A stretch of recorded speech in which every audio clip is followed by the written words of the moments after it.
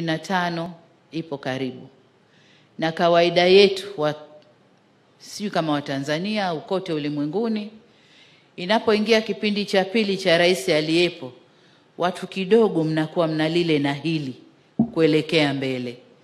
Nataka kuambia acheni.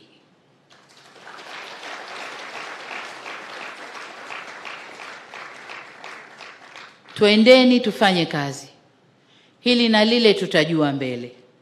Sawa ndugu zangu, twendeni tufanye kazi. Lakini nalotaka kuambia jengine ni kwamba rekodi yako inakufata katika maisha yako. Kuna wengine wamekosa hizi nafasi kwa rekodi zao tu.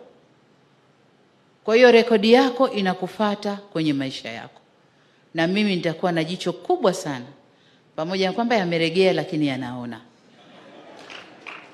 Nitakuwa na jicho kubwa sana kuangalia rekodi zenu na safari ya mbele yetu, lakini nataka kuambia kila yule mwenye nia ya ishirini ishirini na tano aache mara moja.